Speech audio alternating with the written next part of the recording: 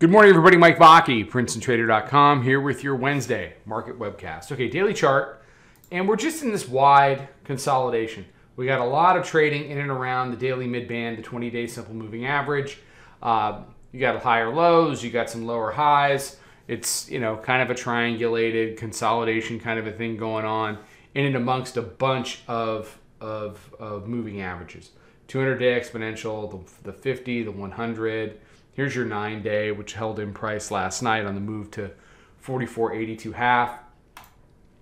Hourly chart, and you can see the vast majority of yesterday's regular session, in fact, well, all of it, um, every hourly candle, these are hourly candles, every hourly candle interacted with the daily mid band.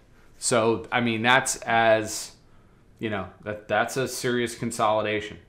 Um, and what we've seen over the course of Globex is it's consolidated even more. Little false breakout, um, you know, a little trip down to test, but mostly just, you know, we're sitting right on top of it at 42.50 half as I'm doing this, and it's a little after 8. It's 10 after 8 in the morning um, Eastern Time.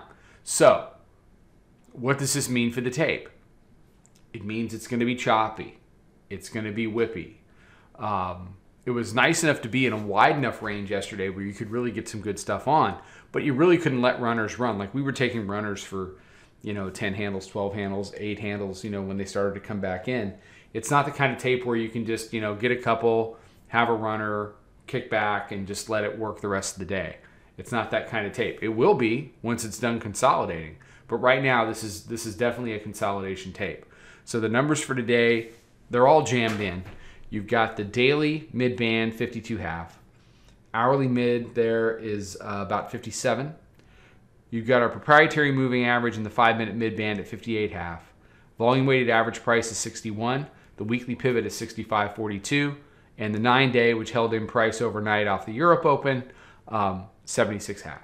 So it's it's it's a wider area, call it 52 to 77, but it really is a tighter area 52 to you know 65. So that 52 to 65, if somebody can win that area, they should win the day, and it sets themselves up. Uh, they they would set themselves up to have uh, the advantage going into the back half of the week.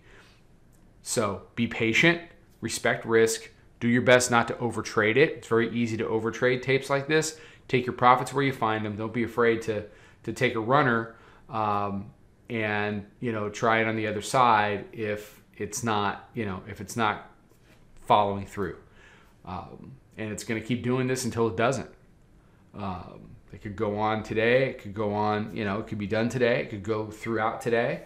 There's a whole lot of cross currents in the market geopolitically economically and all that stuff is you know it's it's a little bit of a headline tape.